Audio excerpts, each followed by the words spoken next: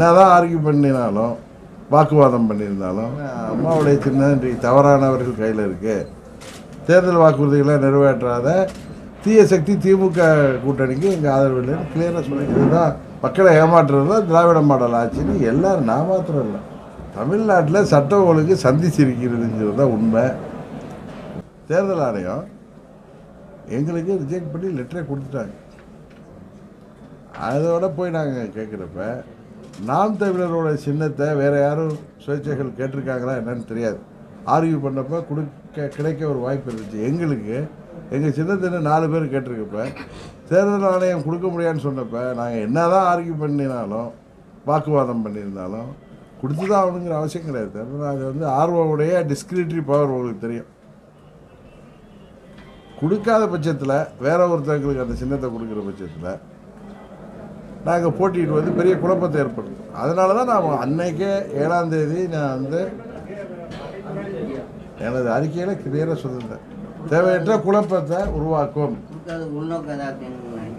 தேர்தல் ஆணையம் அவங்க விதிகள் படி கொடுக்கறதும் கொடுக்காம இருக்கிறதும் அவங்களுடைய டிஸ்கிரிப்டிவ் பவர் அதுக்கு உள்நோக்கம் கற்பிக்கிறதுனா கற்பிக்கலாம். பட் நான் அதை அப்படி பார்க்கல. நான் அது மாதிரி சென்ஸில் பார்க்கல. அவங்க கொடுக்கலன்னு நினச்சிருக்காங்க. அதுக்கு பின்னணி என்னங்கிறது எனக்கு தெரியல. ஏற்கனவே சொன்னேன் அம்மாவுடைய சின்னம் இன்றைக்கு தவறானவர்கள் கையில் இருக்கு.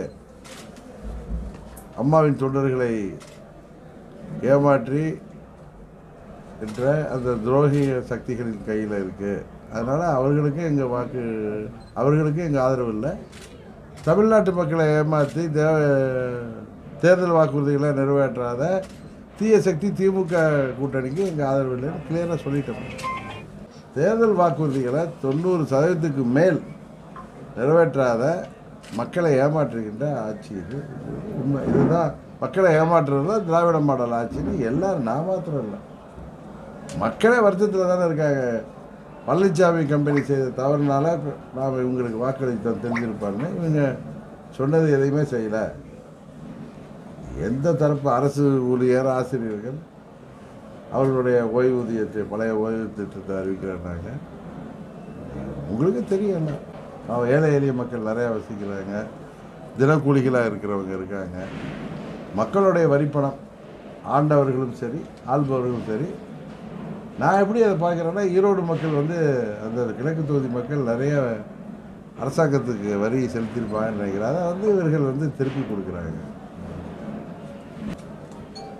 நீங்கள் கேட்டிங்கன்னா அவங்க சொல்லுவாங்க நாலு தானே உடஞ்சிருக்கு தமிழ்நாட்டில் எவ்வளோ நைட்டு அவங்க சொல்லுவாங்க ஒரு நைட்டில் வந்து நீங்கள் எவ்வளோ இருபத்தி நாலு மணி நேரத்தில் நாலு தானே உடஞ்சிருக்கு. உடனே யூபியை போய் பாருங்கள் பீகாரை பாருங்கம்பாங்க. தமிழ்நாட்டில் சட்டம் ஒழுங்கு சந்திச்சிருக்கிறதுங்கிறது தான் உண்மை. ம போதை கலாச்சாரத்தெல்லாம் தாண்டி போதை மருந்து மாணவ செல்வங்கள் கூட இன்றைக்கு எதிர்கால மா இந்தியாவின் அடி நாதங்களாகிய மாணவ செல்வங்கள்லாம் இன்றைக்கி பள்ளிக்கு அனுப்புறதுக்கே பெற்றோர்கள் மடியில் நெருப்பை கட்டிட்டு இருக்கிற சூழ்நிலை இருக்குது இதுதான் இன்றைக்கு நிலைமை. அந்த அரசாங்கம் சட்டம் ஒழுங்கை சரியாக பராமரித்து இது போன்ற போதை மருந்து விற்பனையெல்லாம் அடியோடு ஒழிக்கவில்லை என்றால் எப்படி புரட்சித் தலைவர் காலத்தில் இங்கே தீவிர கம்யூனிஸ்டுகள்லாம் தருமபுரி திருப்பத்தூர்லலாம் அவர் தேவாரம்லாம் இருந்து தலைவர் ஒழிச்சதுனால தான் இன்றைக்கி தமிழ்நாடு ஒரு அமைதி பூங்காவாக ஜனநாயக முறையில் இங்கே ஆட்சி நடப்பதற்கு உதவி செய்தாரோ அதுபோல் இன்றைக்கு தமிழ்நாடு முதலமைச்சர் தமிழ்நாட்டில் சட்டம் ஒழுங்கை முழு கவனத்தோடு பராமரிக்கணும். ஏன்னா இந்தியாவில் சிறந்த மாநிலமாக என்றைக்கு அமைதி பூங்காக சட்டம் ஒழுங்கு நிலைநாட்டப்படுகின்ற மாநிலமாக இருந்து இருக்கின்ற இருந்த இருக்கின்றனா இப்போ அதில் வந்து மக்கள் மத்தியில் பீதி அடைகின்ற சூழ்நிலை இருக்கிறத அவர் இல்லை என்ற நிலையை உருவாக்க வேண்டும். சட்டம் ஒழுங்கு சரி செய்ய வேண்டும். ஒரு சமயம் யாரோ சொல்கிறாங்களே ஒரு சமயம் சட்ட ஒழுங்கை சீர் கெட்டு போயிருக்கிறதுல இந்தியாவில் முதல் மாநிலமாக இருக்குது அதுக்கு முதலமைச்சருக்கு எதாவது அவார்டு கொடுத்துருக்காங்களான்னு எனக்கு தெரில எனக்கு. அதனால் டாஸ்மாக் அமைச்சர் அதான் டாஸ்மாக் அமைச்சர் வந்து ரொம்ப திறமையான அமைச்சர்.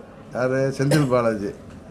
அவர் வந்து அவருடைய திறமைக்கு அவருடைய சிறந்த செயல்பாட்டுக்கு இதெல்லாம் ஒரு உதாரணம்.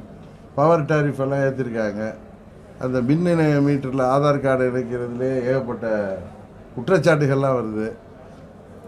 இதெல்லாம் அந்த இதே திரு ஸ்டாலின் அவர் எதிர்க்கட்சி தலைவராக இருந்தப்ப ரெண்டாயிரத்தி பதினாறு தேர்தலப்போ கரூரில் போய் தேர்தல் பொதுக்கூட்டத்தில் நமது தம்பி செந்தில் பாலாஜி இன்றைக்கு மின்துறை அமைச்சராக ஸ்டாலினுடைய வலதுகரமாகவோ இடதுகரமாக இருக்கிறவரை பற்றி என்னெல்லாம் பேசினாருங்கிறத அவர் திரு ஸ்டாலின் அவர்களும் மறந்துட்டாங்க.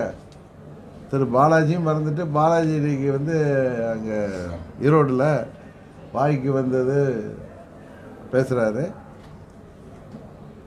அவர் ஒருத்தரே போதும். திமுக ஆட்சி முடிவுக்கு கொண்டு வர்றதுக்கு செந்தில் பாலாஜி பிள்ளையார் சொல்லி போட்டு போட்ட போட ஆரம்பிச்சிட்டாருங்கிறது தான் என்னுடைய கருத்து.